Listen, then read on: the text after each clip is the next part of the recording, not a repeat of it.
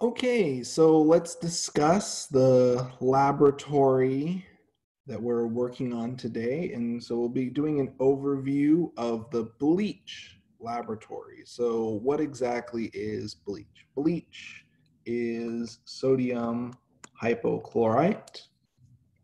One moment. Sodium hypochlorite. The active species is our hypochlorite. Ion. That is the active oxidizing agent in bleach. So the way that bleach is made commercially is by taking chlorine in the presence of hydroxide under electrolysis. So we're running a current through our mixture. We generate hypochlorite, chloride, and water. This is a redox reaction where in effect chlorine is being oxidized to hypochlorite and we're losing one electron each time. So for each chlorine atom, we're going from zero to plus one. And as a result, one times two gives us two electrons lost total.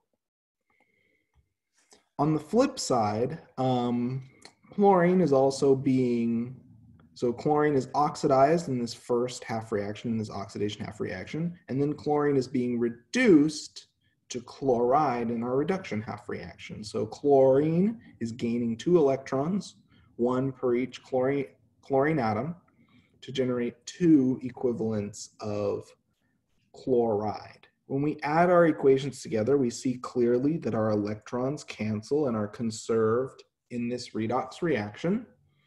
Perfect.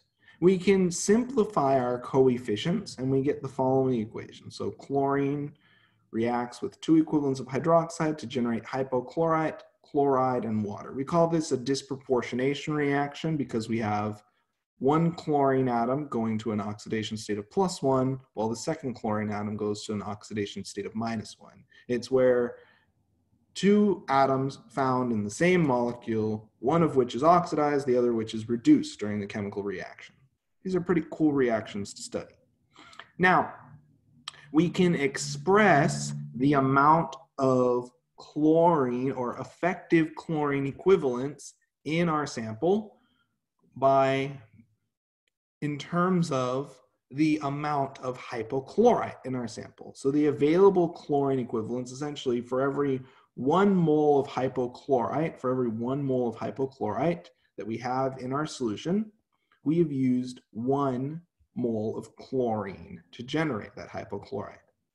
So for every one mole of hypochlorite, we have one mole of chlorine equivalents. So by measuring the grams or moles of hypochlorite in our sample, we can determine the chlorine equivalents. And our goal in this process is to calculate the percent mass over mass of chlorine in our bleach sample which is the grams of chlorine equivalent, which is best thought of just as the grams of chlorine, over the grams of solution. And we can get the mass of the solution by taking the density times the volume. We've done this time and time again. Now, let's try to answer the question, how will we find the moles of hypochlorite in a bleach sample? So we're gonna use the methods of redox titration and iodometry. So titration, we've seen that before, and we'll be drawing heavily behind the theory for titration. So if you want a refresher, please look at the pre-lab lectures for our titration laboratories that we performed earlier on this semester. In iodometry, you're using a defined reaction with iodide in this case to generate iodine. So we're using the following well-defined half reaction. Okay, and we are using the reaction of iodide with an oxidizing agent to determine the concentration of our unknown reactive species via titration of iodine. So essentially we can think of it as step one, react to make iodine. Step two, we titrate the iodine generator. Perfect. So in terms of how bleach reacts with iodide anion, hypochlorous acid, since this reaction is run under acidic conditions for this half reaction, hypochlorous acid oxidizes iodide to make iodine, and our hypochlorous acid, the chlorine is reduced to chloride. So looking at our half reactions, we have iodide going to iodine, iodine. And the beautiful thing about iodine is that it has this beautiful brown color. So I2 is easy to detect. So just like how we used an indicator in previous titration labs, iodine shows you this brilliant color if it's present and the color disappears when you've used up all of your iodine. So it's pretty easy to titrate and iodine itself is relatively stable. For a reduction half reaction, our hypochlorous acid under acidic conditions picks up two electrons to make chloride and we generate an equivalent of water as a byproduct. Note, electrons are conserved in both cases. These are two electron redox processes. If we add our reactions together, um, we get the equation up here, and we again can establish a stoichiometric relationship between the moles of iodine generated and the moles of hypochlorite in solution. And as we see, looking at our equation, it's a one-to-one -one ratio. We have one mole of iodine generated for every one mole of hypochlorite. So the moles of hypochlorite are equal to the moles of iodine determined via titration. Perfect. So we have this link between the iodine that we've generated from reaction with our hypochlorite and the amount of hypochlorite originally present in our solution. Perfect. So we're going to be titrating iodine as it has some really wonderful benefits. First, it's colored, it's easy to detect, it's relatively stable, and iodine in the presence of iodide, which we have an excess of, makes the triiodide anion. And in the presence of starch, you make this blue starch iodine complex, and it allows the, the trace amounts of iodine to be accurately detected. So essentially, the iodine starch complex is self-indicating. When the color when the color disappears,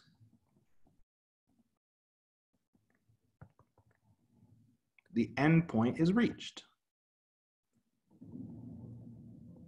And I2 completely reacted. Okay, so how are, what, are, what are we going to use to titrate our iodine? Well, we're going to break out our sodium thiosulfate. And thiosulfate, thiosulfate, we need two equivalents of thiosulfate to react with one equivalent of iodine to generate two equivalents of iodide and this dimeric oxidized anion. So for our oxidation half reaction, um, we're going for an oxidation number of plus two for sulfur to an oxidation number of five over two in S4O6 if we note the fact that we're going from essentially plus 2 to plus 2.5 four times for our four sulfur atoms, we see that we have in turn lost two electrons in this cycle. For a reduction half reaction, again, just like before, iodine is being reduced to iodide by gaining two electrons. We establish now a relationship looking at our above chemical equation that for every one mole of iodine, we need two moles of thiosulfate for a complete reaction. Okay, one thing I want you to recall and to add to our list of relationships, we know that we have one mole of hypochlorite in solution for every one mole of iodine that we generate. Additionally, we know that we have one mole of effective chlorine equivalents for every one mole of hypochlorite present in solution. So we're going to use all of these relationships in our titration to essentially go from, we're, we're essentially going to go from moles of thiosulfate to moles of iodine to moles of hypochlorite to moles of chlorine. So this is our one line conversion factor setup.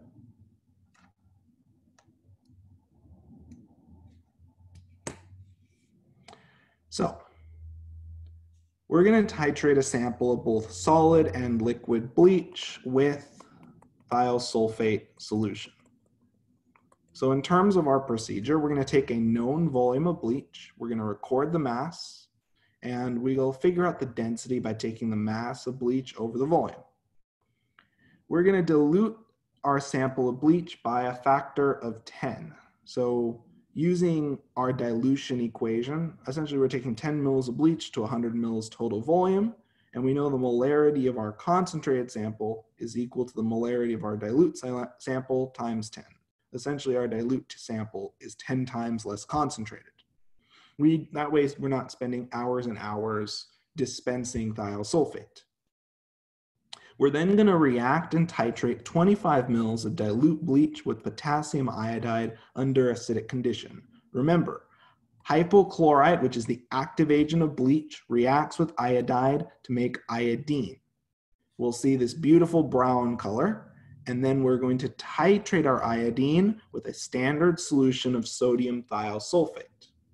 Now, looking at our reaction stoichiometry, so if we're performing the titration, we'll record our volume initial from our burette. Then we're going to add thiosulfate until we observe this yellow color for dilute iodine. So dilute iodine has this yellow color. Then and only then are we going to add our starch and we're going to observe the blue color of the starch iodine complex. After additional thiosulfate, we will observe a clear solution, which is the end point for our titration. And at that point, we'll record the volume final. Now, looking at our chemical equation, we know at the end point, which is about the same as the equivalent point, the moles of iodine and the moles of thiosulfate are present in the stoichiometric ratio. So for our moles of thiosulfate, we know that for complete reaction, based on our stoichiometry, we have one mole of iodine reacting with every two moles of thiosulfate. So from this, we can calculate the moles of iodine. If we expand out this moles of thiosulfate using molarity times volume, we see that the moles of iodine are equal to the molarity of our thiosulfate times the volume of thiosulfate times our stoichiometric ratio. And once we figure out the moles of iodine, we can then use our previously established relationship to figure out the moles of hypochlorite. Once we know we get generated one, for every one mole of iodine that we make, we've reacted one mole of hypochlorite that was originally in our bleach sample. For the moles of chlorine equivalents, we know that for every one mole of hypochlorite, we have one mole of chlorine equivalents reacted in solution for every one mole of hypochlorite that we detect in our bleach sample. So to account for the fact that we did a dilution, if we want to calculate the mass of bleach, we know that we took 25 mils of dilute bleach.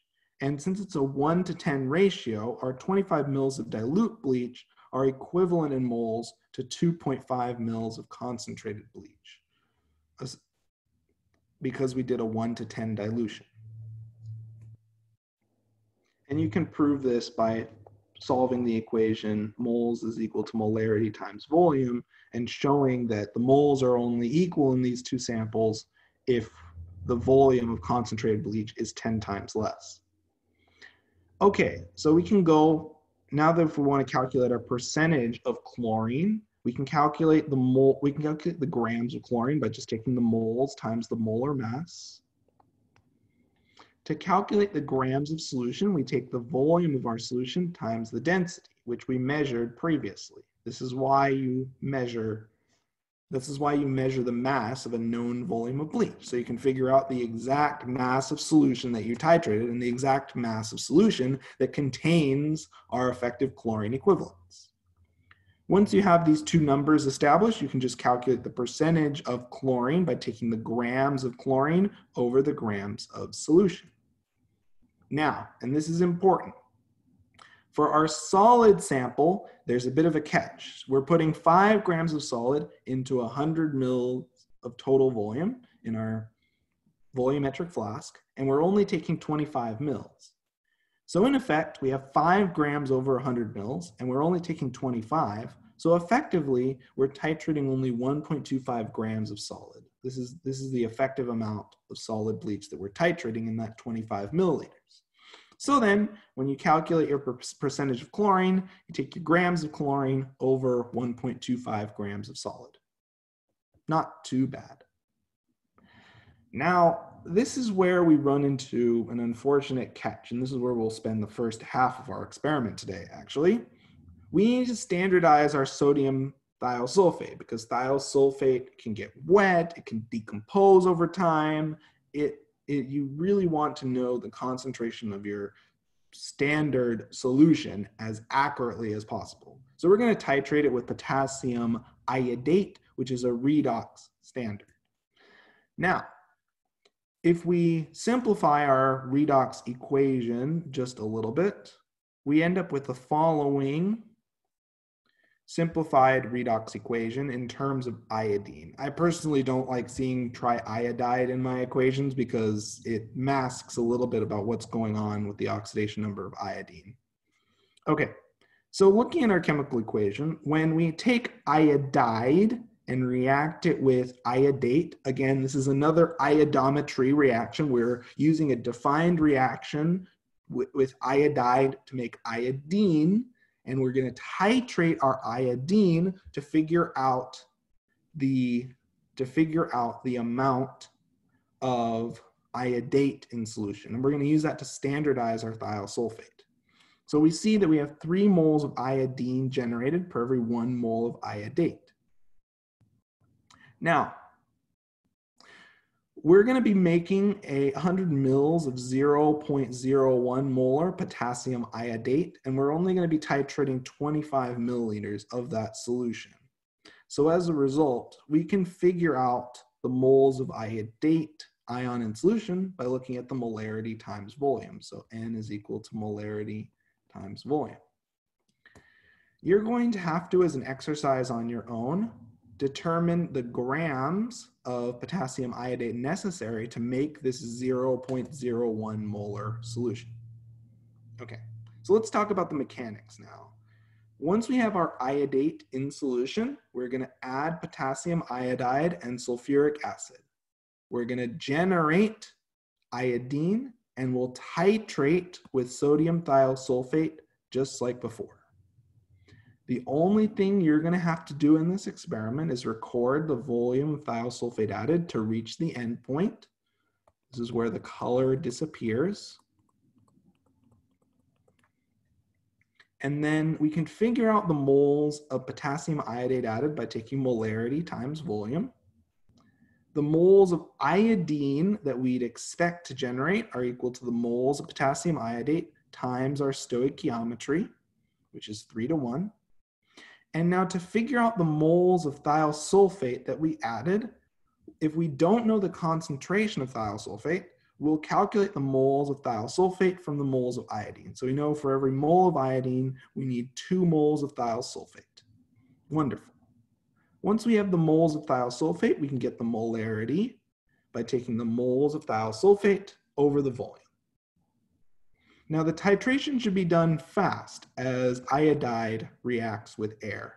So this is why you'll see I'm often do the titration really quickly because I don't want my iodide reacting with air and generate excess iodine that shouldn't be present in the solution as this will affect the accuracy of your results. So that concludes our pre-lab lecture for the bleach laboratory and you're now ready to watch the lab video and record data and observations.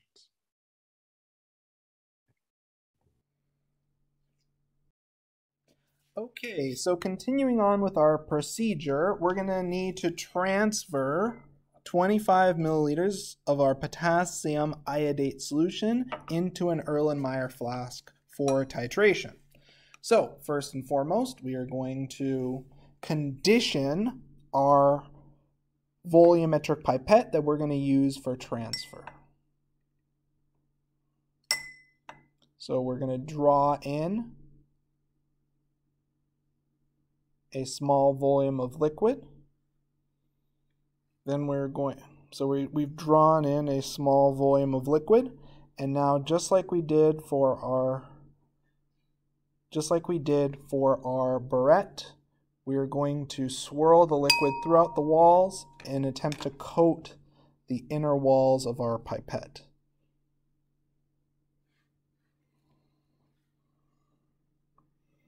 We're then going to drain our liquid and we're going to repeat this conditioning process. And we'll resume once I've conditioned our pipette three times. Okay, now that our pipette is conditioned, we're going to fill our pipette with 25 milliliters of sodium thiol, oh, sorry, 25 milliliters of potassium iodate solution. Got a little bit ahead of myself there. The sodium thiosulfate is the solution in our burette. So we're going to transfer 25 milliliters of potassium iodate solution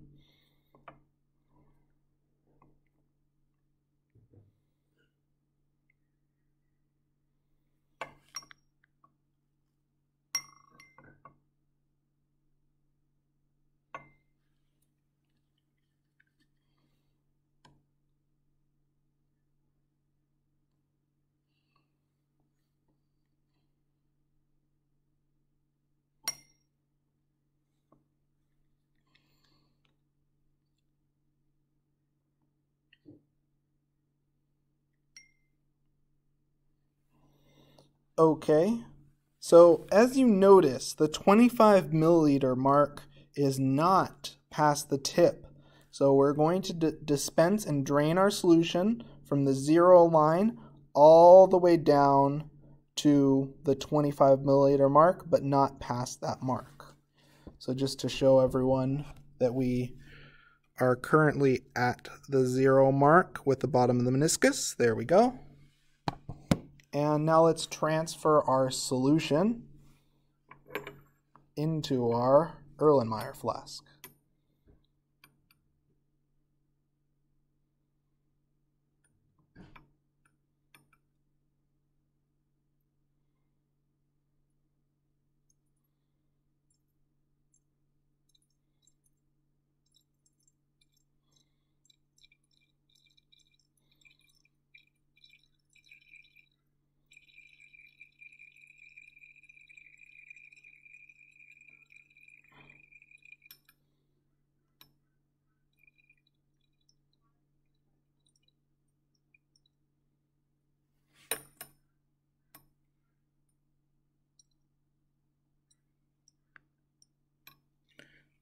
Okay, perfect. The bottom of our, our meniscus is, is exactly touching the 25 milliliter mark.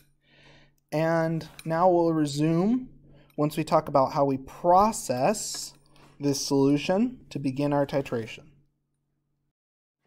Okay, so in order to begin to process our solution, first and foremost, we're going to need to add 2 grams of our prepared potassium iodide. Now, the potassium iodide will react with the oxidizing agent, which is our potassium iodate, and we will generate iodine.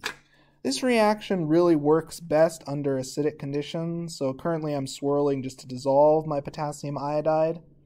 Now, this reaction we are on a bit of a bit of a timer here because the moment I add my sulfuric acid, the moment I add my acid, it will facilitate the redox reaction and you'll see a rapid color change as we generate iodine.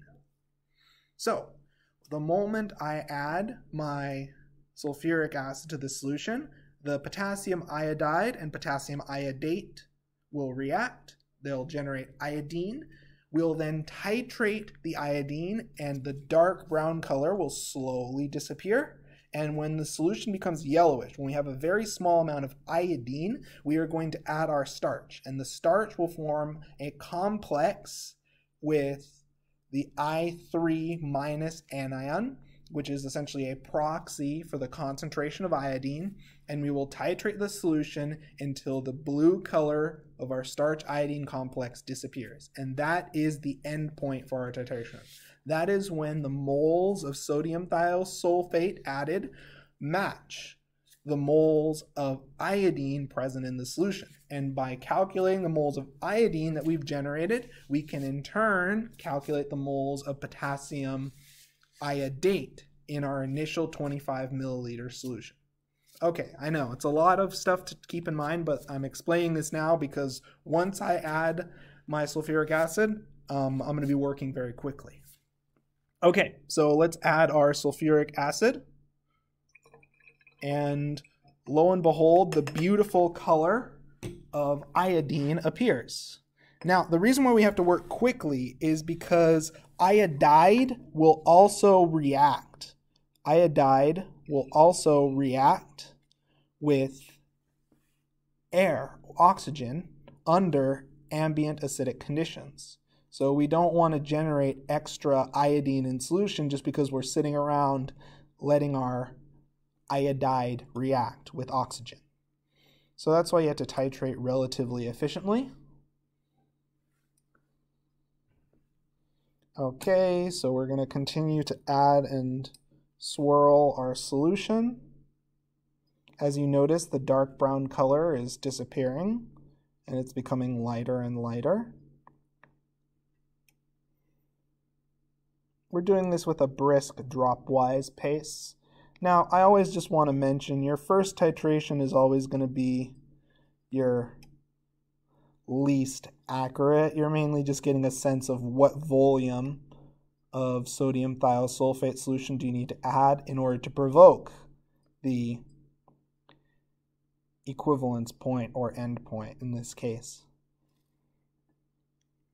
So once the solution turns yellow, then I'm going to add the starch.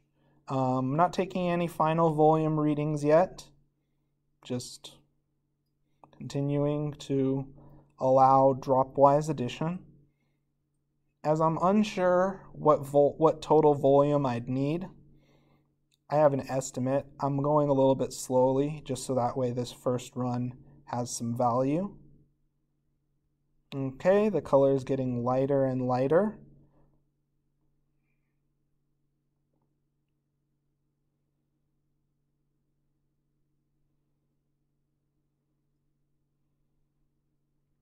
Okay, now that we have this yellowish color, we're going to wash down our drop. And then I'm going to take my starch solution that I've oh also carefully prepared, and I'm going to transfer my starch solution. And now we see the beautiful blue color of the starch iodine complex. So now we're going to add and continue our dropwise addition.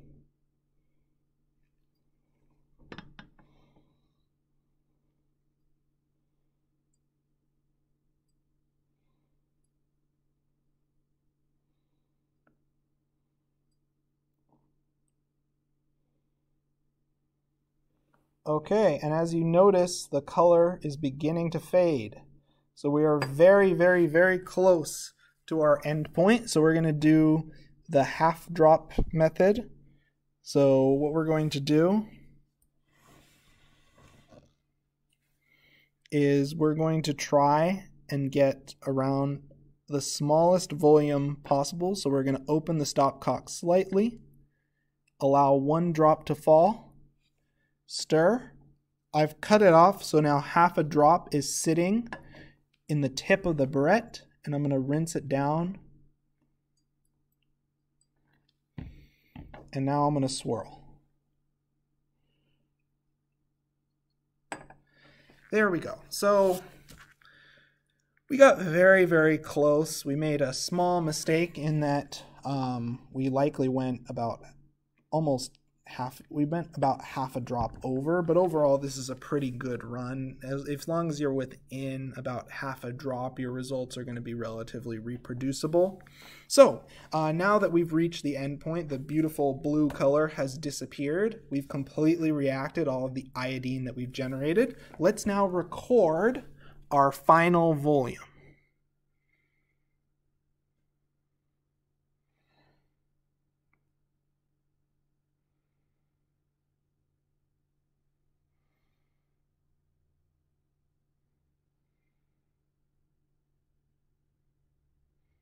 Okay, so please take your final volume measurement and I'll also be taking a picture and posting that picture on Canvas for trial one.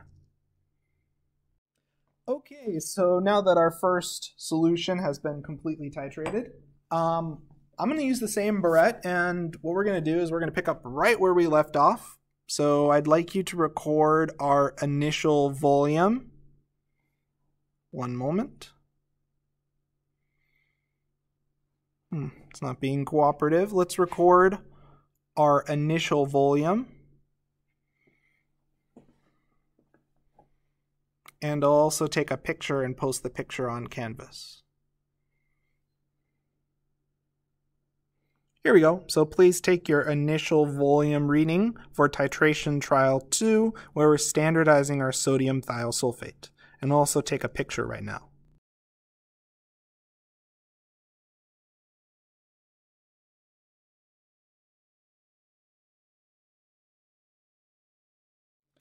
Okay, so just like before, we're now ready to start trial number two.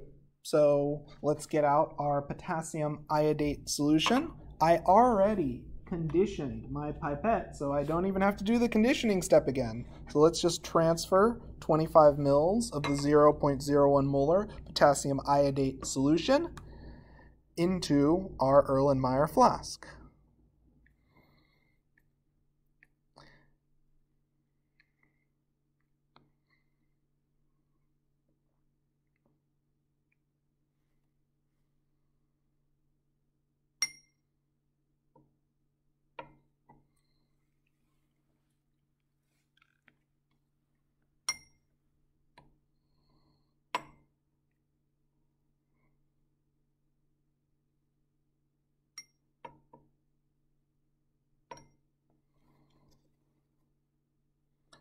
Okay, so now we're going to drain to the 25 mark.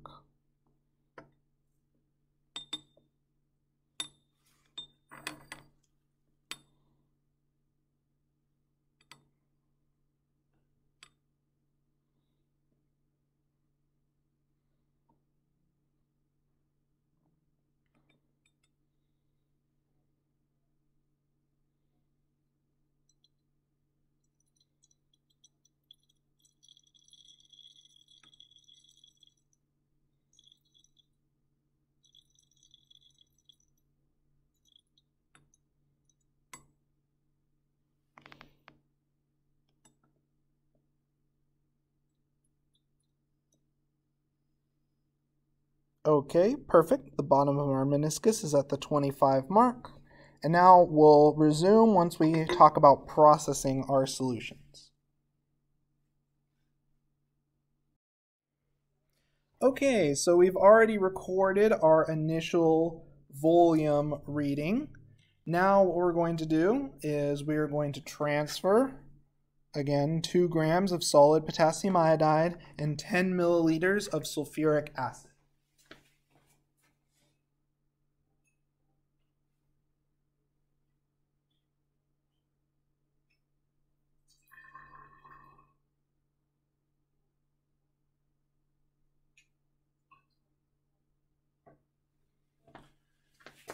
Okay, so let's add our solid potassium iodide.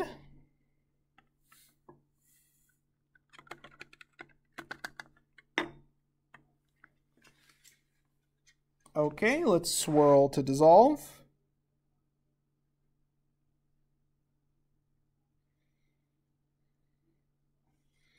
And now let's generate our iodine that we're titrating. Let's initiate the reaction between potassium iodide and potassium iodate via addition of sulfuric acid. And as we can see, we see the beautiful color of iodine. And now we are ready to titrate this solution. Remember, we are on a clock here. We have to work efficiently to avoid generation of excess iodine via reaction with oxygen. So, we knew previously that it took somewhere around 14 milliliters, so we can be pretty aggressive with our we can be pretty aggressive with how quickly we dispense.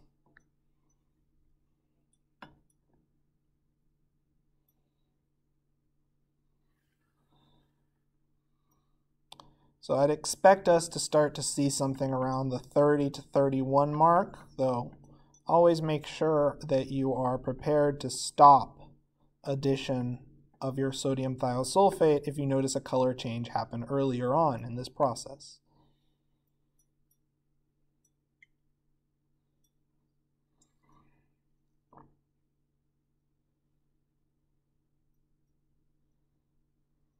As you notice, the brown iodine color is slowly fading.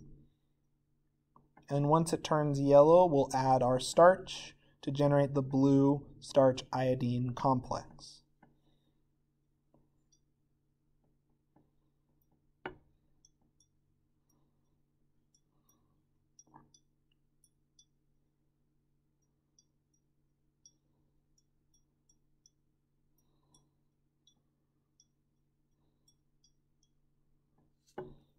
Let's slow the pace. Oh, whoops. Let's slow the pace a little bit.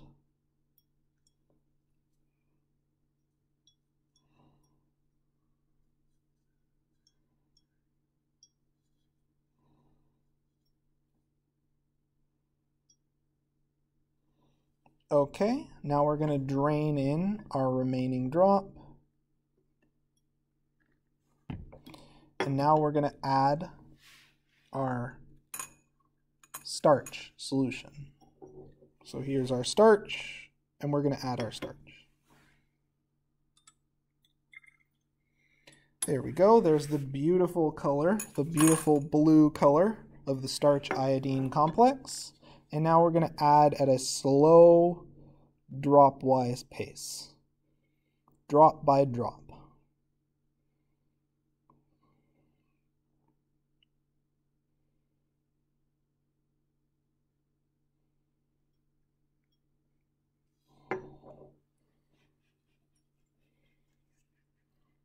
Okay, there's our first drop. Let's do one more. Okay, we have our second drop and we have half a drop sitting in the tip of our burette. So let's drain that one down. Almost. This is like almost half a drop until we're we're done.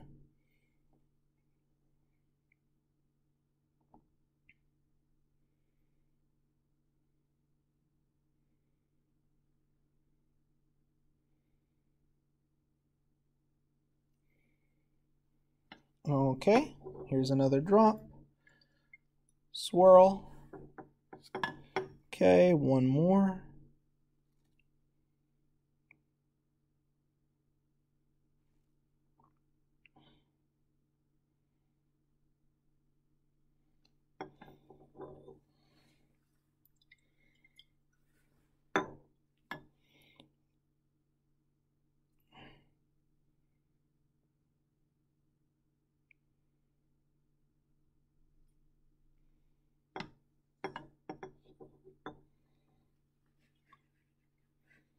Okay, and let's now drain the half drop that we have sitting in, a, in the tip of our burette.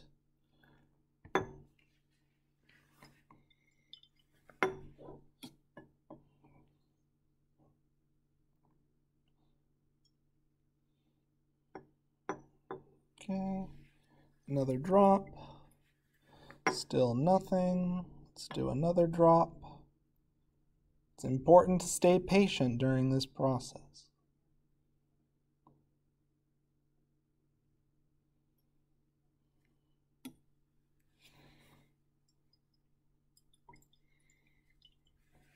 Okay, we're approaching our projected endpoint.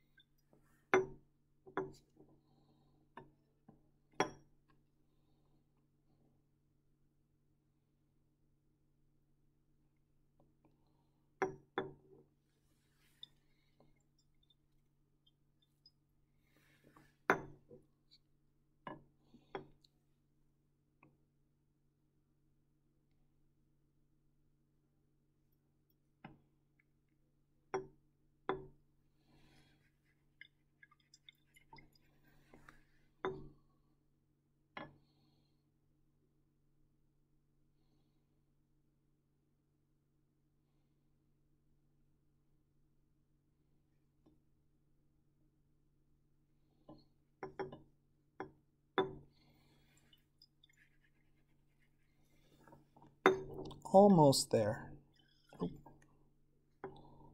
Okay.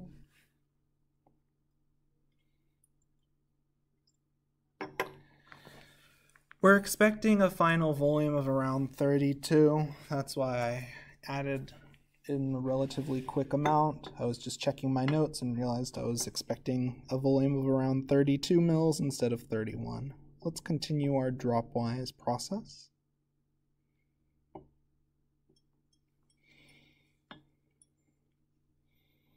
Okay. Almost there. Let's rinse down our half drop.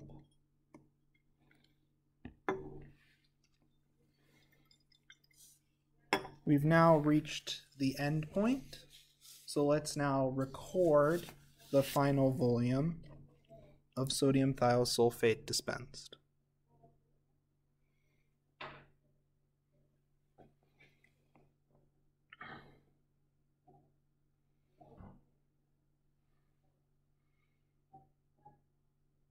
Okay, so please record the final volume of sodium thiosulfate dispensed.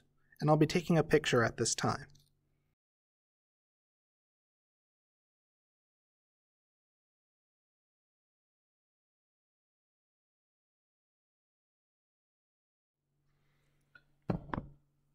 Okay, so let's refill our burette and let's repeat with trials number two and three. So let's do trial number two. So I'm going to refill our burette and then we'll continue from there.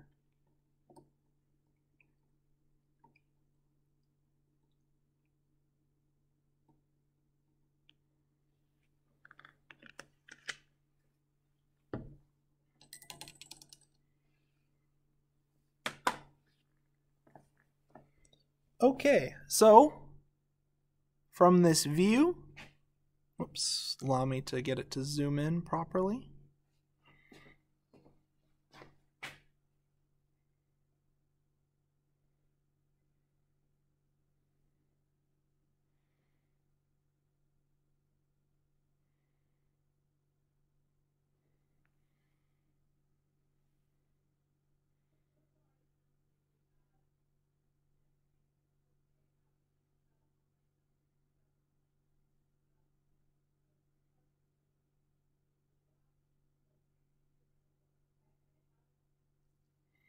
And I'll also take a photo.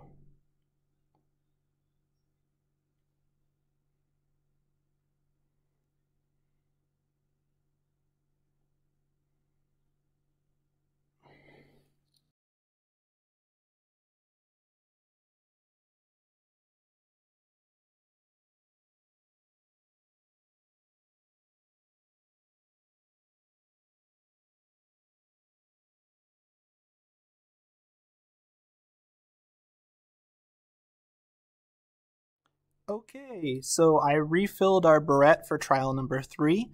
Please record the initial volume for trial number three for our sodium thiosulfate standardization. Okay, so we have our third Erlenmeyer flask. So just like before, we're going to transfer 25 milliliters of our potass potassium iodate solution. So Here's our potassium iodate solution. Remember, I already conditioned my pipette. You always need to make sure your pipette is conditioned before you transfer solutions, especially because this is the primary standard. So if it's diluted, all of our calculations will be thrown off. So we're going to fill and then drain to the 25 milliliter mark.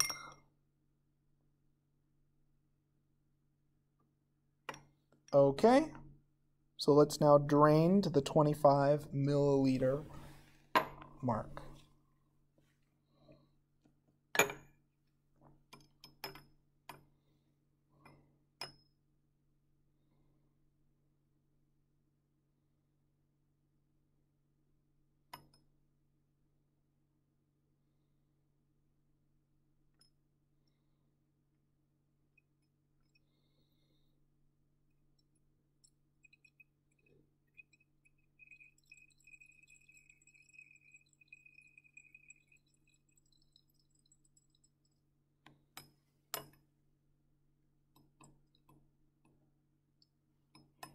Okay, so we've drained so the bottom of the meniscus is exactly touching the 25 milliliter mark.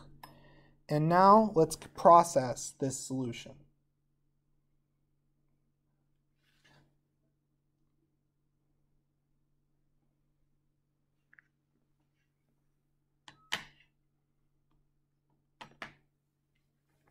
So, just like before, we are going to add our potassium iodide, 2 grams, and our sulfuric acid, 10 milliliters.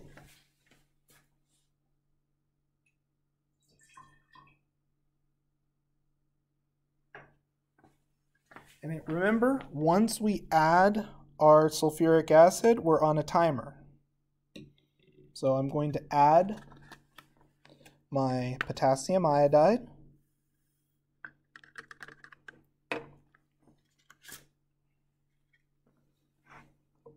Swirl.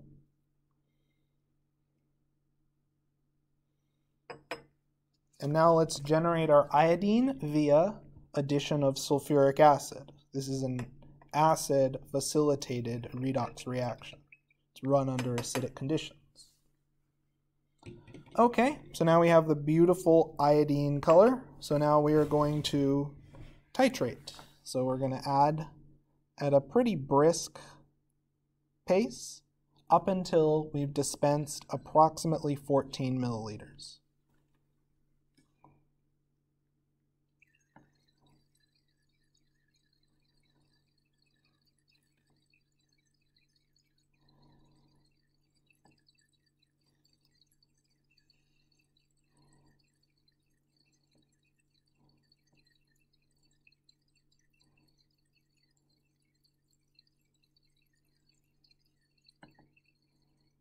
Okay, so now we're going to slow our pacing a little bit, and now we're going to do a dropwise addition.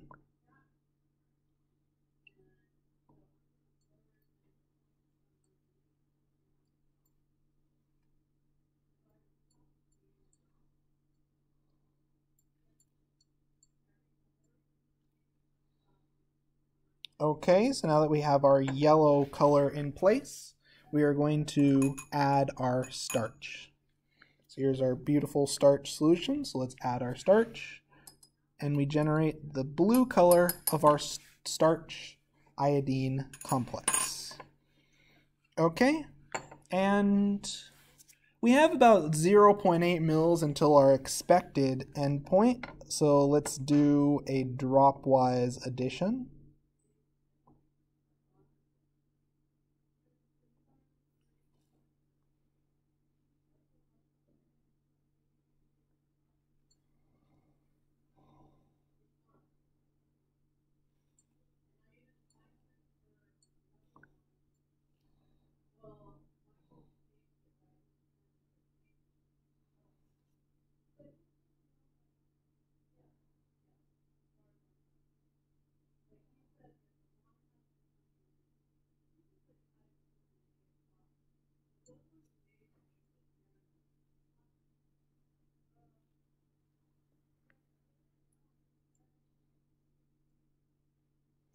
Beautiful. So now we're at our end point, and it took us about approximately 15 milliliters. So all of our runs are relatively reproducible. So I'm going to now go up to our burette and please take a reading for the final volume in our burette and I'll take a picture as well. We'll talk next about how to prepare the bleach solutions, and then we'll talk about how we'll titrate our bleach solutions.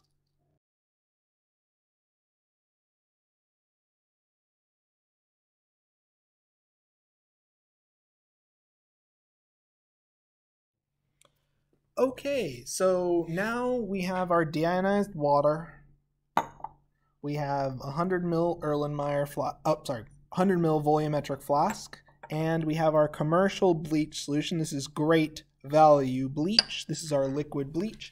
Now we can't just go and titrate this directly. Instead, we have to dilute our commercial bleach sample by a factor of 10. So we're going to take 10 mils of our liquid bleach and dilute it to a final volume of 100 mils. So, uh, first things first, and this is a key thing, we are actually diluting our bleach. Some students forget to dilute their bleach and wonder why it's taking them 200 mils to reach their endpoint. And we have a 10 mil pipette. If you pay attention, you'll notice that the 10 mark is above the tip of the pipette, so we're going to drain only so the bottom of the meniscus is at the 10 mark, not past the 10 mark. Okay, so first things first, we're going to condition our pipette. So we're going to draw in a small volume of our solution. Oh. And then we are going to coat the inner walls. I apologize for doing it off camera, but the seal isn't perfect with my fingers. So I'm coating the inner walls and then draining the solution. And I'm going to condition about two more times and we'll resume once I've completed conditioning. Okay, so we've completely conditioned our pipette.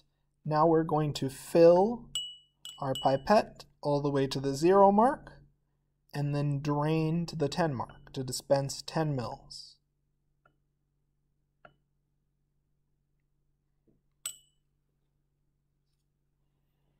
Okay, and then just to verify that we are in fact at the zero mark, there we go. Okay, so let's drain and transfer 10 mils of solution. Just as a side note, you want to make sure all the solution enters and is not stuck on the side of your volumetric flask.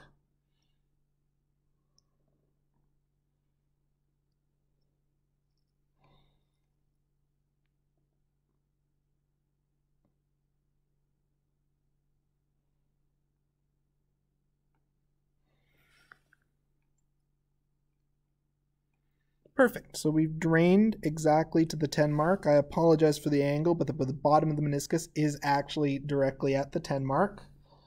Okay, we drain the rest of our solution. It served its use.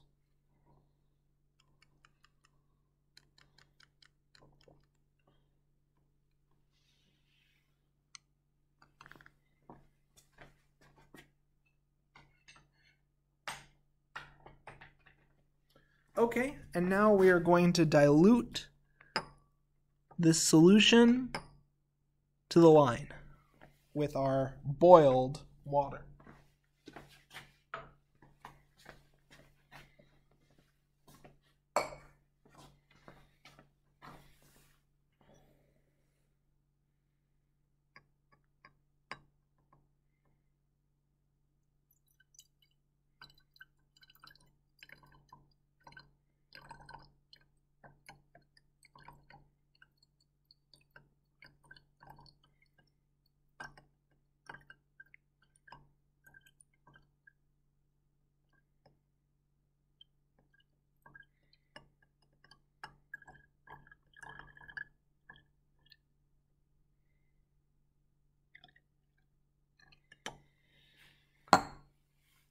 We'll top it off with our deionized boiled water present in our squirt bottle.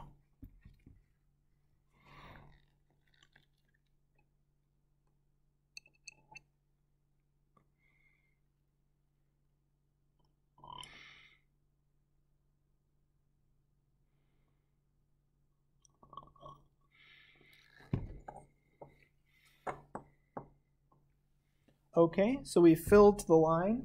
Now what we're going to do is we're going to cap and thoroughly mix this solution to ensure it's homogeneous. And we'll resume after we've thoroughly mixed this solution. Okay, so I've taken the liberty of transferring the bleach, some of the bleach solution in our Erlenmeyer flask into a beaker so we can transfer using our volumetric pipette.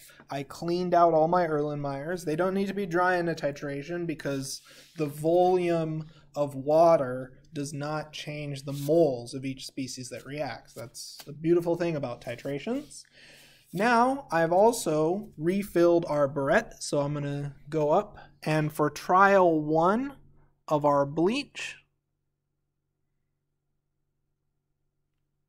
I would like you to record the initial volume.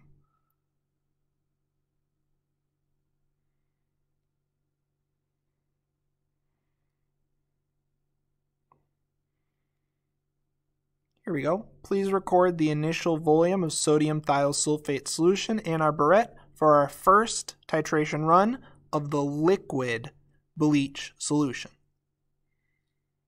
I'll also take a photo.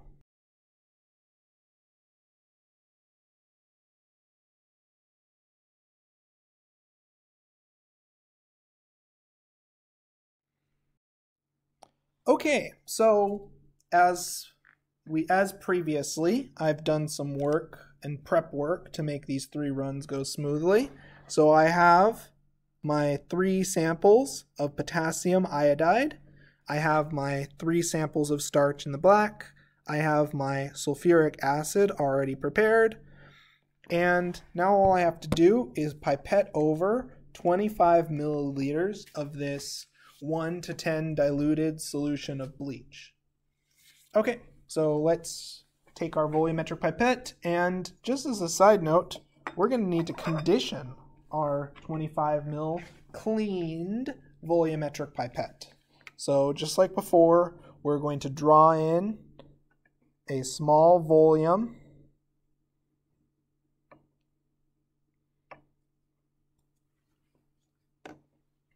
and then we're going to use that small volume to coat the walls of our pipette. Don't forget to condition. It may seem like a superfluous step, but it has a pretty pronounced effect on the reproducibility of your results. So we will condition two more times and then resume. Okay, Oops. one moment. Okay, so we have our conditioned volumetric pipette. So now we're going to fill to the zero mark and then drain to the 25 mark to transfer 25 milliliters of our liquid bleach solution.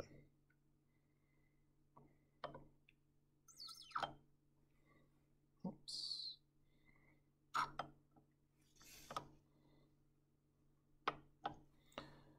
we need a little bit more from our stock.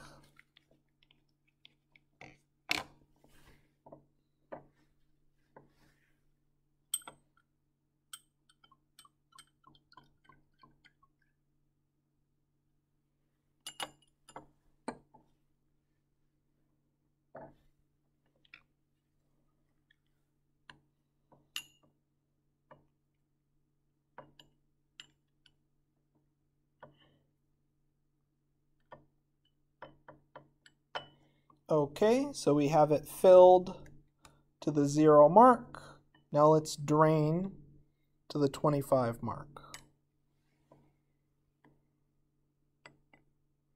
Oh, whoops. A little bit was lost.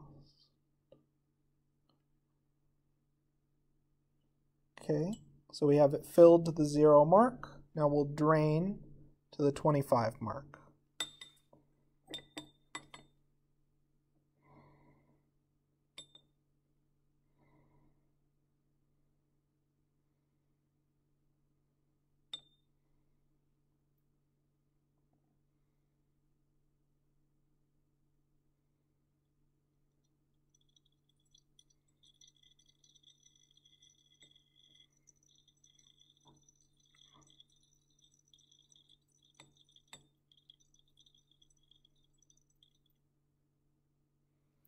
Okay, so we've drained down to the 25 mark. And now we'll resume when we talk about processing our solution. Okay, so we have our burette already prepared with our sodium thiosulfate solution. We have an Erlenmeyer flask containing our bleach solution. And now we are going to add our potassium iodide which will generate iodine after it reacts with the sodium hypochlorite.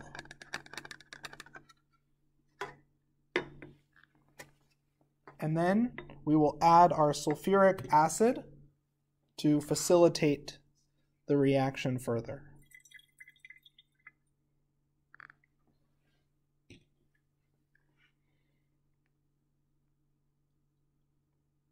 Now we're on a time limit, so we're going to begin titration of this solution with our standardized sodium thiosulfate. Once we get close to the endpoint, then we will add our starch indicator and we will then be able to continue titrating until that blue, beautiful blue color disappears.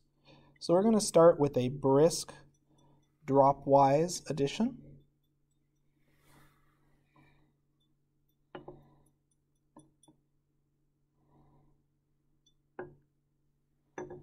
Let's adjust the view so it's a little easier to see.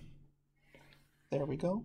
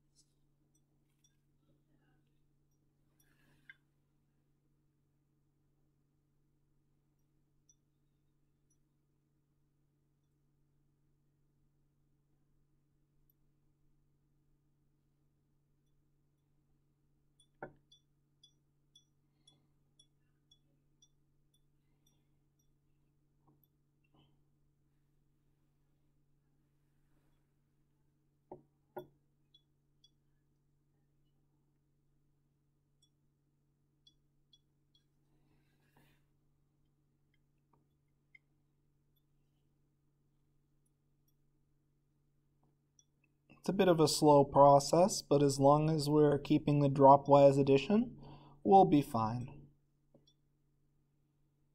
The first run is really just helping us get a sense of what volume of sodium thiosulfate do we need for a complete reaction. Now, if you forgot to dilute your bleach, you just see this giant lump of iodine generated, which would take a lot of sodium thiosulfate. So this the 1 to 10 dilution is really critical for this experiment, and remember to account for that in your calculations.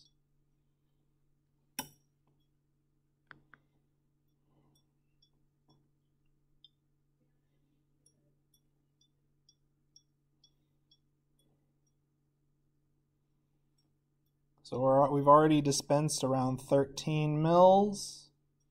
I'm not seeing any abatement of our iodine color, but that's okay. We'll continue until we start to see the color to lighten, and then we'll add our starch indicator.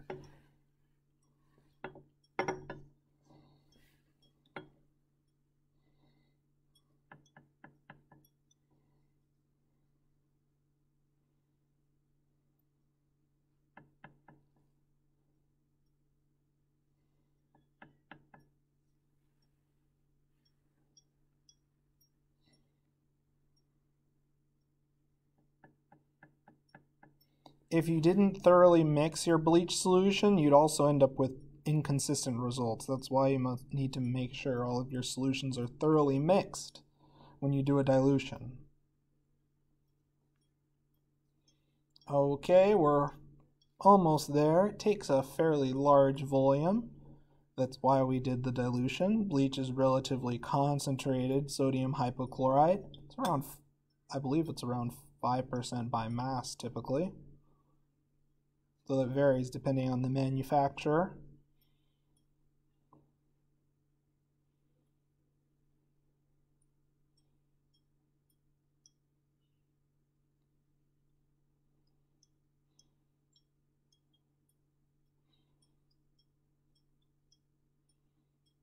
And patience is a virtue. There's no need to rush.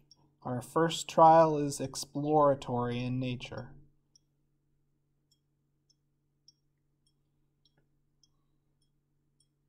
But you don't want to add the starch too early, or it becomes hard to see these subtle color changes as the amount of iodine drops in the solution.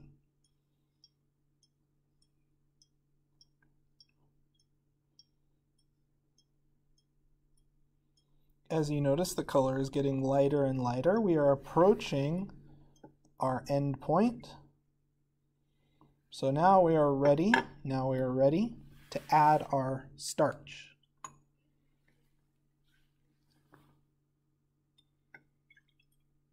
And there's that beautiful blue color. It's always fun to look at. This is textbook iodometry in motion. So let's now switch to a slow dropwise addition.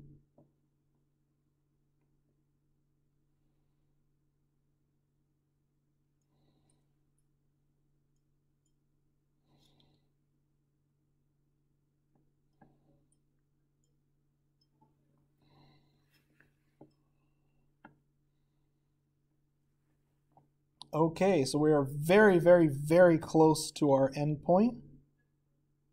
And that little half drop was all it took. So here we go. So it took approximately 28 milliliters. So let's now zoom in and I'd like you to take your final volume reading for our first trial of our liquid bleach solution titration. And I'll also take a photo.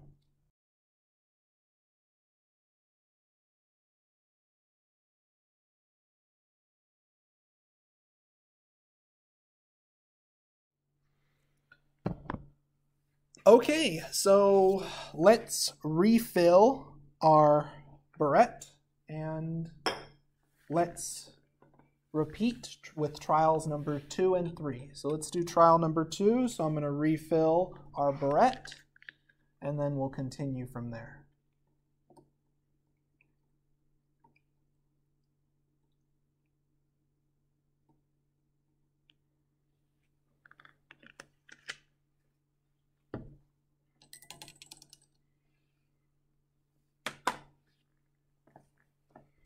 Okay, so from this view, whoops, allow me to get it to zoom in properly.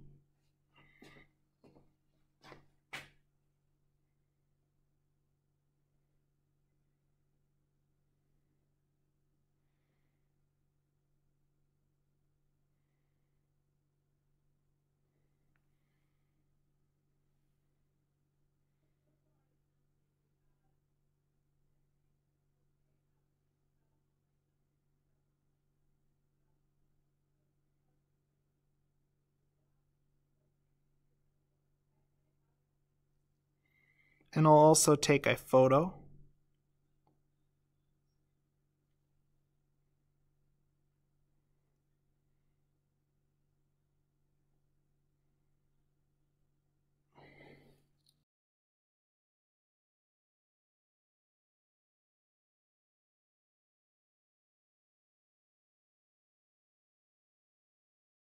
Okay, so please record the initial volume for trial 2 of our liquid bleach titration.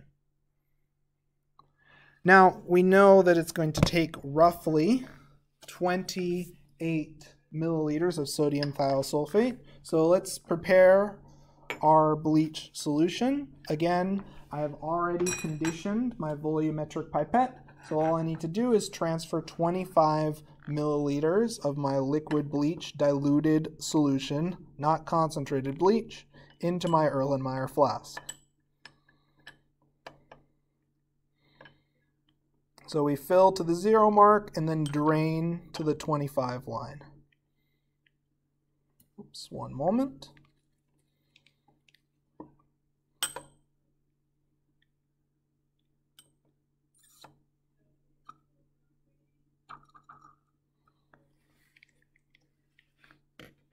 Let's dispense a little bit more of our solution.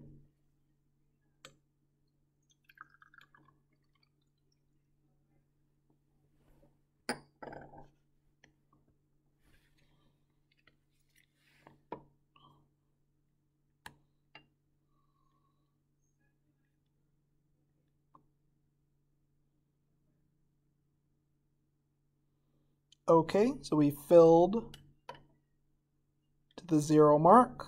Now let's drain. So we filled, so the bottom of the meniscus is at our zero mark. Now let's drain to the 25 mark.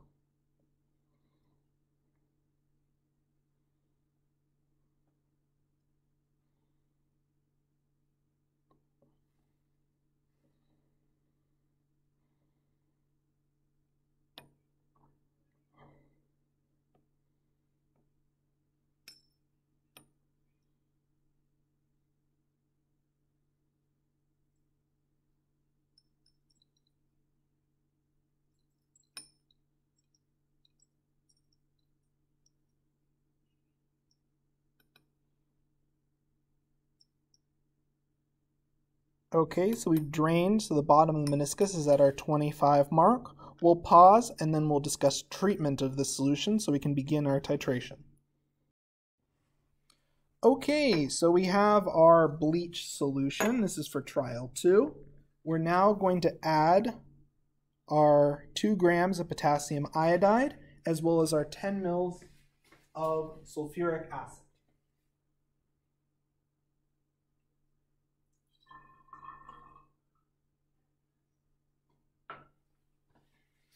Okay, so let's get this process started. Let's get our solution prepared. We mix in our potassium iodide. We see the beautiful iodine color start to appear. And now let's add our sulfuric acid to truly facilitate this redox reaction. Okay, so now that we have our solution prepared, we're going to begin titration. And we're going to start with a really brisk pace because we know it's going to take roughly 28 mils.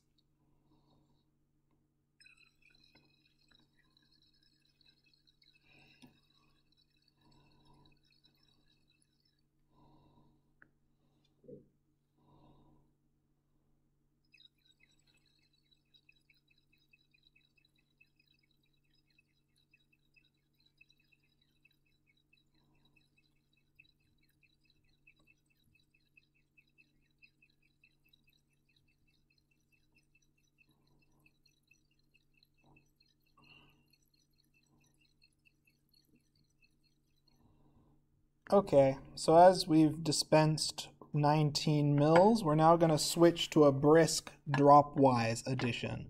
Just so that way if we see any surprises, we have enough time to react.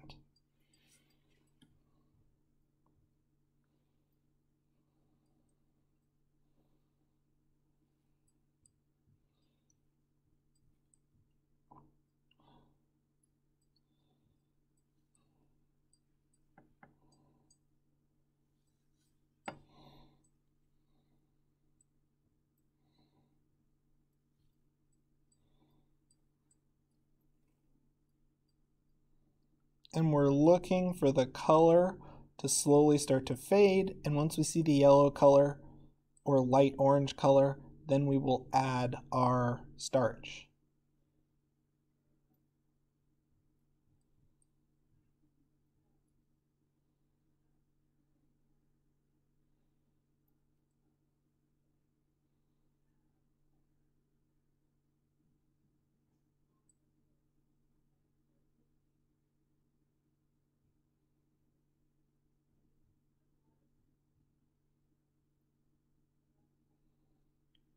Okay, so we're getting very close to our end point. So now let's add our starch.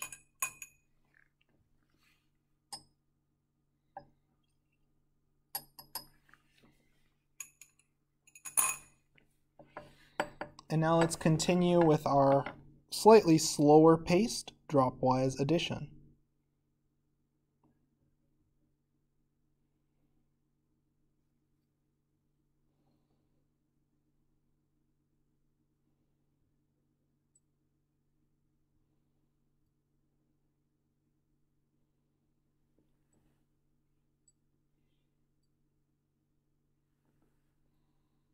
Okay, our color is starting to fade.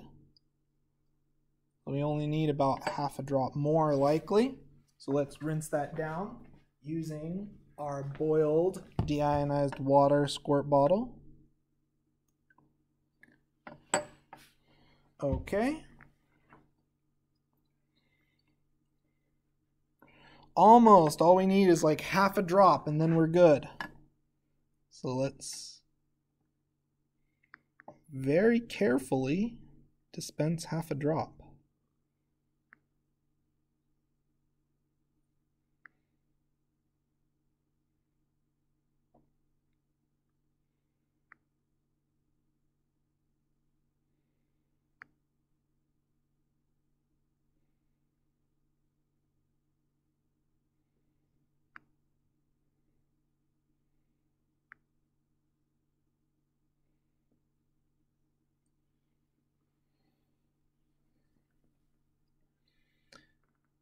There we go. And this is really shows how much a drop can make a difference. We are now at our endpoint, so let's record our final volume.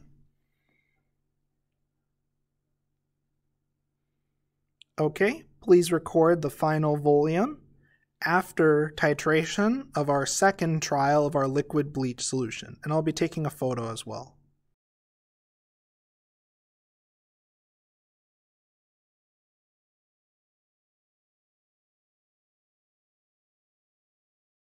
Okay, so I've taken the liberty of refilling our burette. Please record the initial volume for trial 3 of our liquid bleach. With that established, there's also going to be a photo on canvas. We're now going to transfer 25 milliliters of our liquid bleach solution using our conditioned volumetric pipette. Okay, so we're going to fill to the zero mark and then drain to the 25 mark.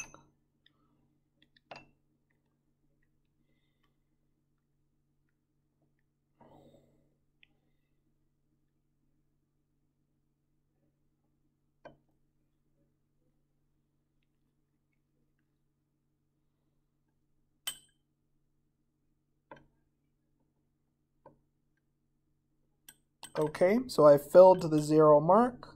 Now let's drain down to the 25 mark.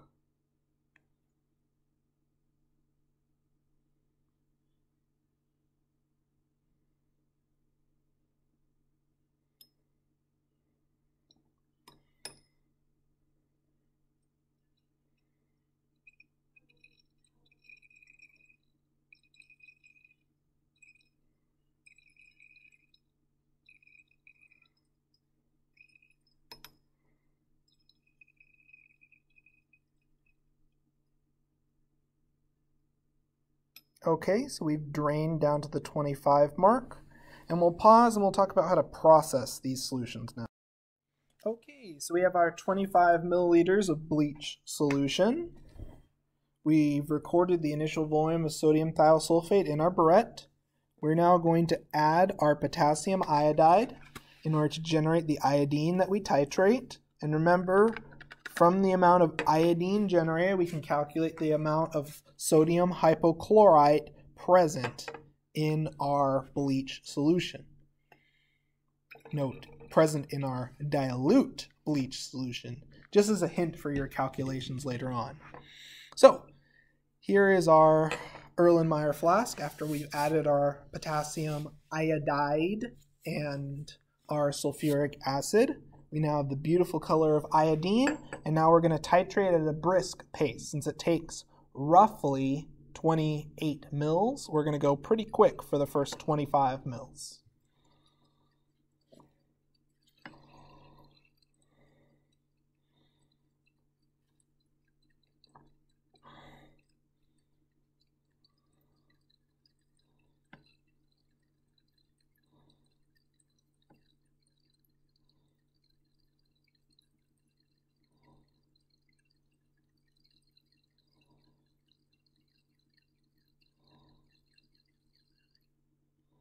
Okay, so now that we've added our first 25 mils, we're going to switch to a brisk dropwise addition.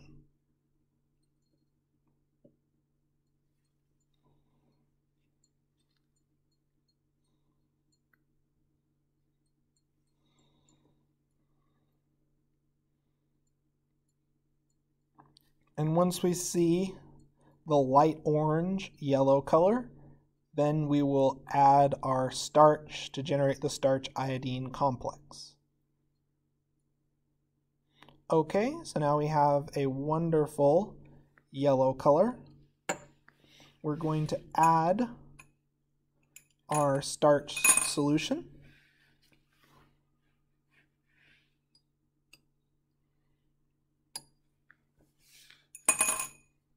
And we have the beautiful blue color of the starch iodine complex. And now we're going to switch to a very slow dropwise addition.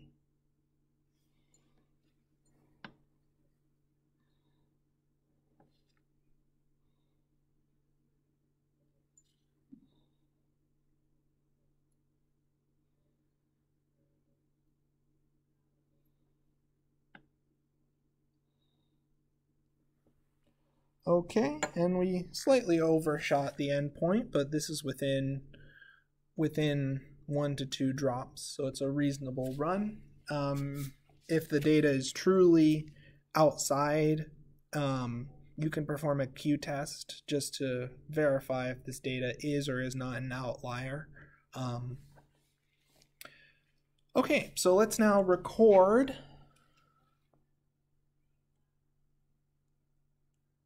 our final volume and I'll also be taking a picture at this time.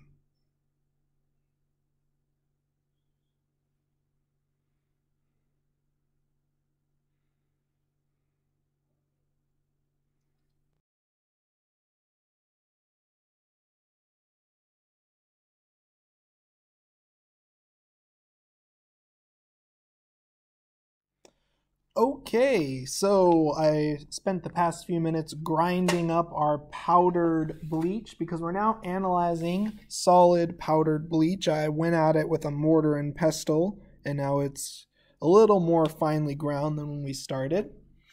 I'm going to dispense about five grams of this solid powdered bleach. So I'd like you to record the mass before I have transferred the bleach.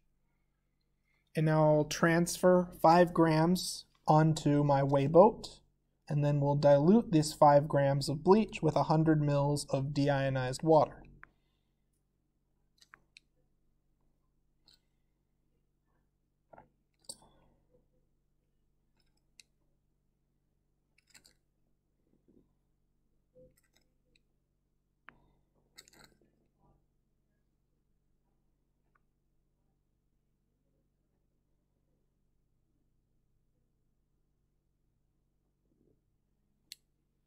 Okay, please record the mass of solid bleach dispensed. And now we are going to move over and talk a little bit about our dilution step. Okay, so we have 100 mil Erlenmeyer. So just like before, we're going to add our solid and then fill to the line with our boiled deionized water.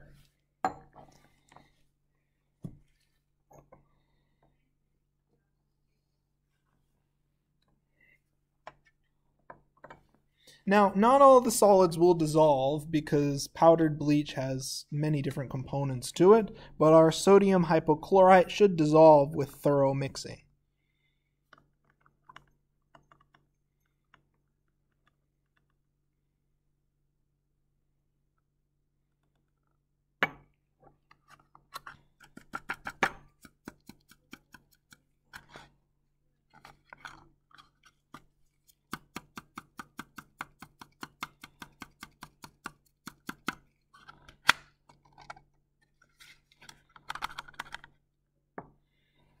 I'm going to place the weighboat back on the scale and we're just going to record any mass of solid left over in our weighboat just so that way we're 100% sure that we're calculating and using only the mass that actually ended up in our volumetric flask. Okay, so now, with, now that we have that out of the way, now that we have that out of the way, we're going to begin our dilution step. So we're going to fill to the line and dissolve as much and dissolve all of our solid with our boiled deionized water.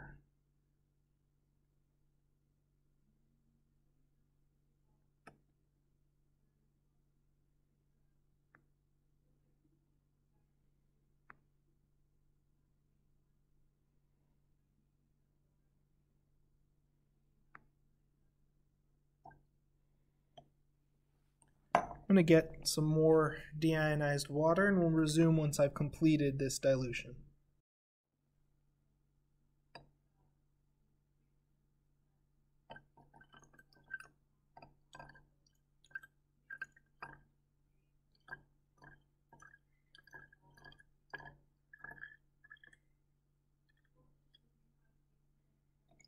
Okay, and now we're going to top it off with our deionized water bottle that is filled with boiled water.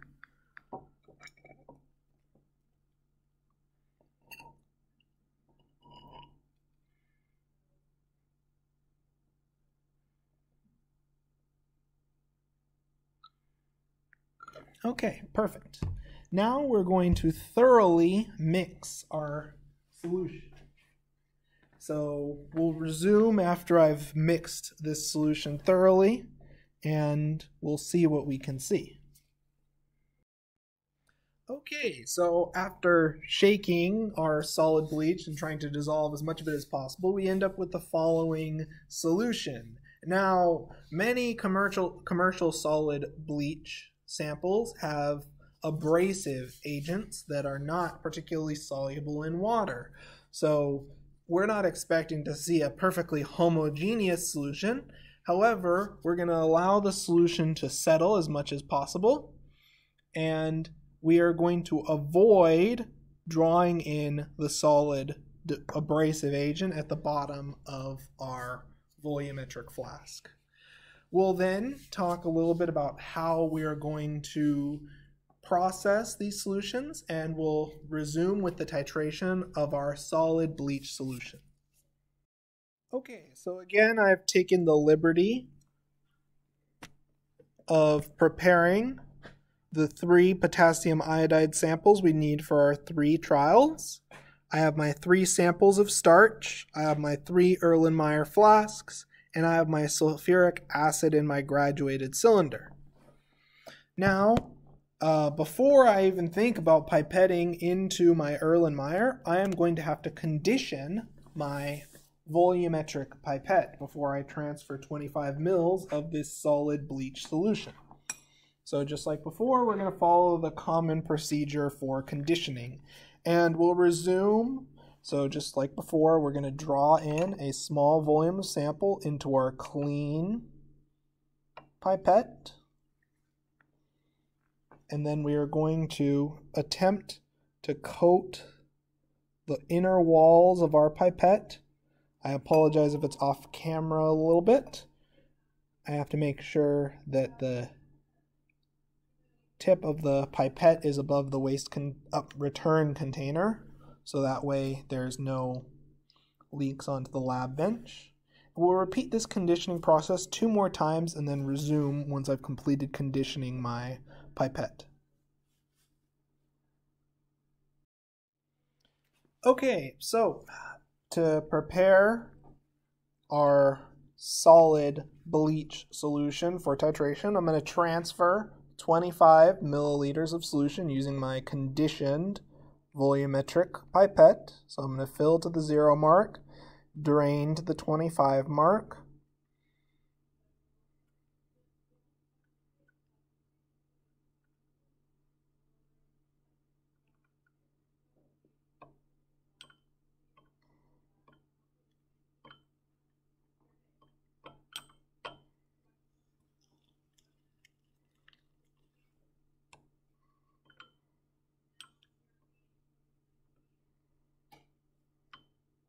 Okay, so we filled the zero mark. Let's now drain down to the 25 mark for our first trial.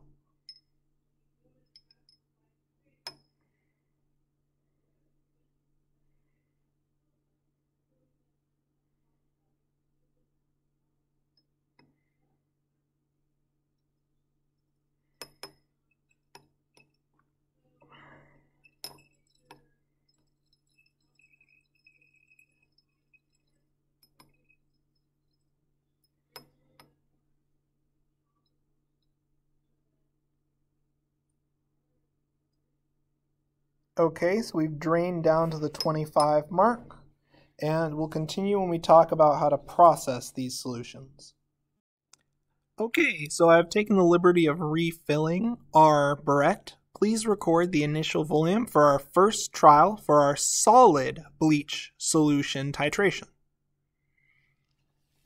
Now, continuing on from that, we've already transferred our solid bleach solution into our Erlenmeyer flask. We are now going to add the 2 grams of potassium iodide and our 10 milliliters of sulfuric acid to trigger a reaction to generate iodine, which we will titrate. Again, we see the, the dark brown color. Oops, allow me to get sulfuric acid.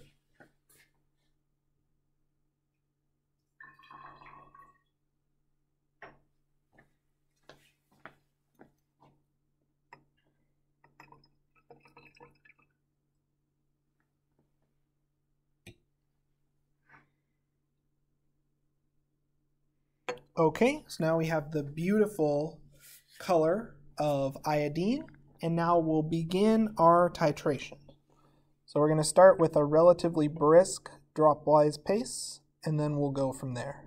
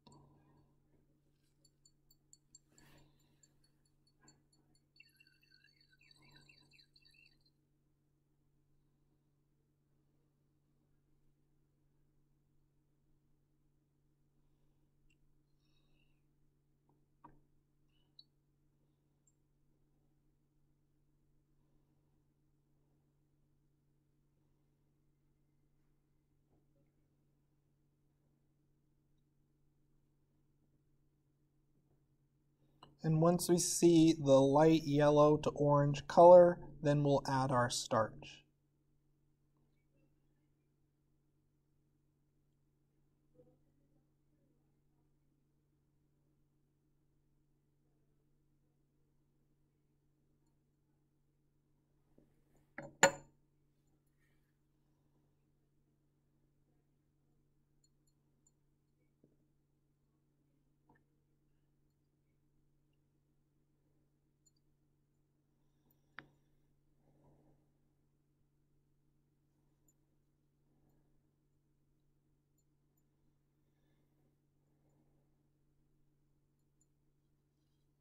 And this titration is moving smoothly. It's taking a fair amount of sodium thiosulfate, but nothing that we don't have access to.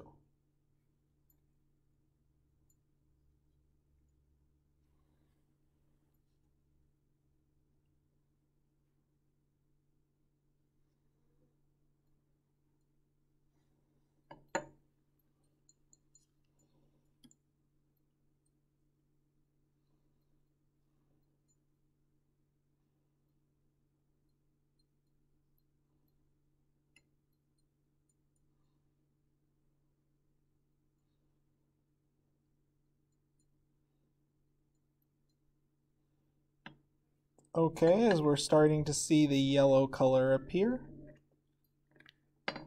we are going to now add our starch solution.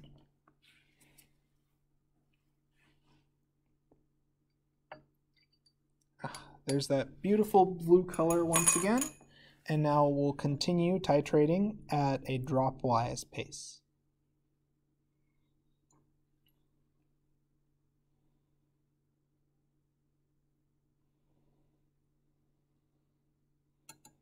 Okay, it's starting to clear up, so let's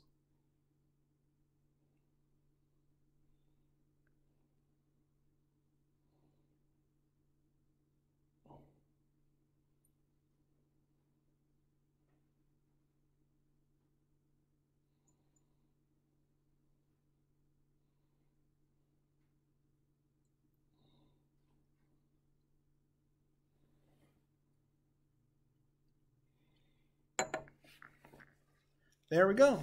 So we got, we're at the end point now.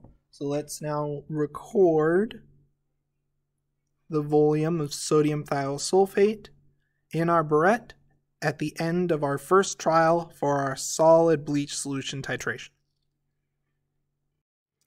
Okay, so I've taken the liberty of refilling our burette for our second and final trial for our titration of the solid bleach solution.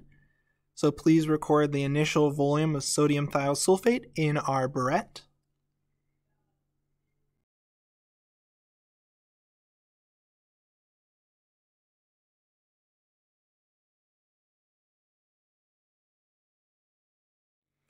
Okay, so we're now going to prepare our solution. I've already conditioned my pipette, so I'm going to transfer 25 milliliters of my solid bleach solution into my Erlenmeyer flask. So I'm going to fill to the zero mark and then drain down to the 25 mark.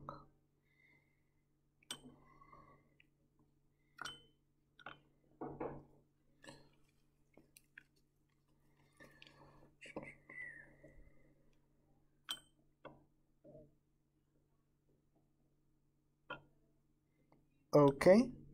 So now we're going to drain down to the 25 mark.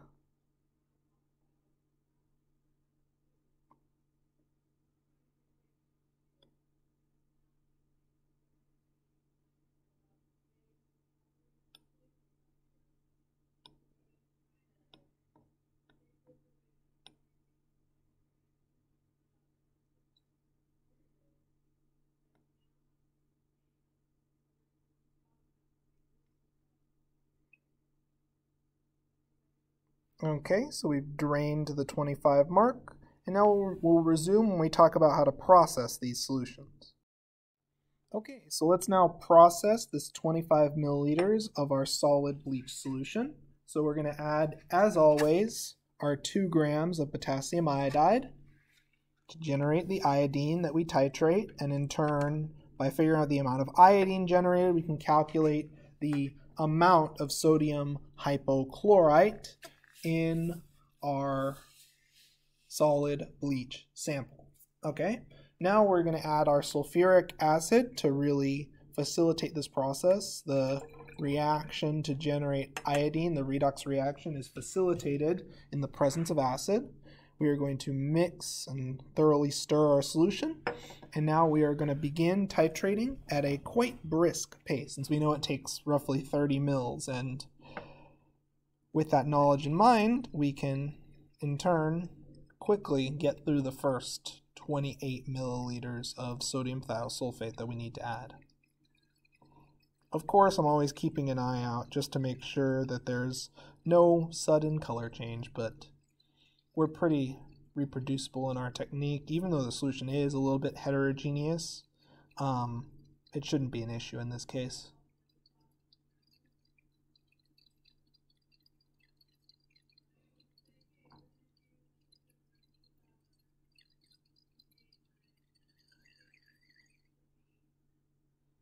Okay, so we've dispensed roughly 27 milliliters, and now we're going to do a, a brisk dropwise addition.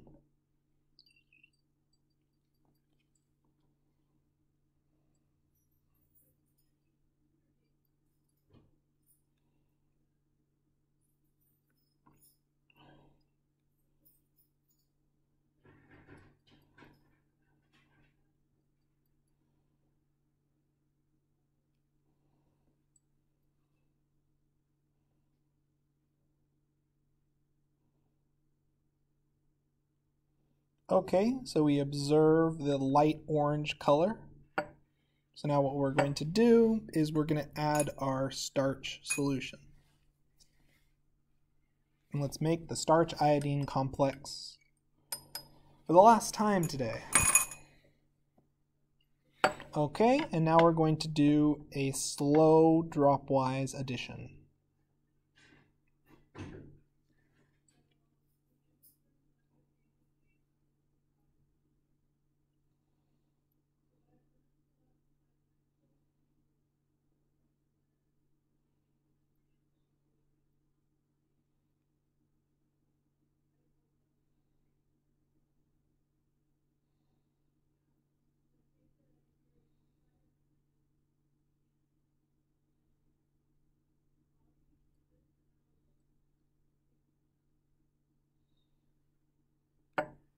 And there we go. We've reached our end point. So let's now record the volume present in our burette at the end of our second trial for titration of our solid bleach sample.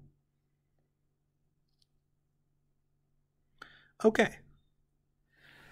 Well, that concludes today's experiment. From the data collected, you should be able to calculate the amount of sodium hypochlorite present in both our solid and our liquid bleach samples. Remember to account for dilution. You'll be also provided the density of our commercial bleach solution um, that you will use for your titration. In fact, we'll also take another replicate run where we measure the density of our commercial bleach solution while we're here.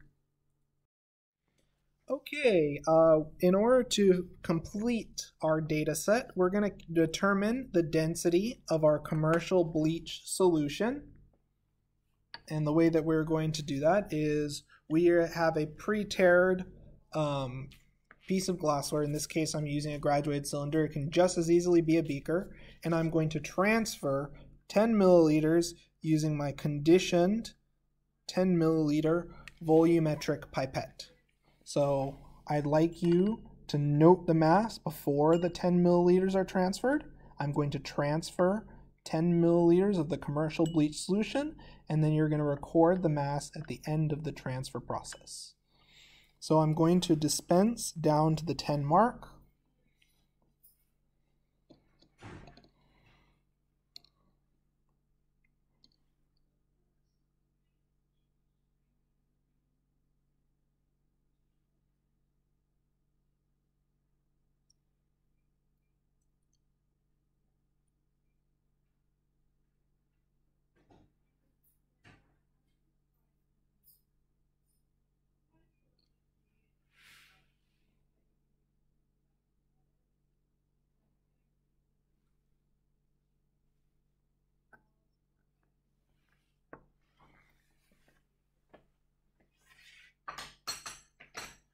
Okay, so we've transferred 10 mils into our piece of glassware. Now I'd like you to note the mass after the 10 milliliters of commercial bleach solution was transferred. And remember, because I used a volumetric pipette, you're going to need to report your sig figs uh, properly for a volumetric 10 milliliter pipette. So you should have around four sig figs, two decimal places. Okay, with that, you have all the data you need to complete your lab report for the Bleach Laboratory.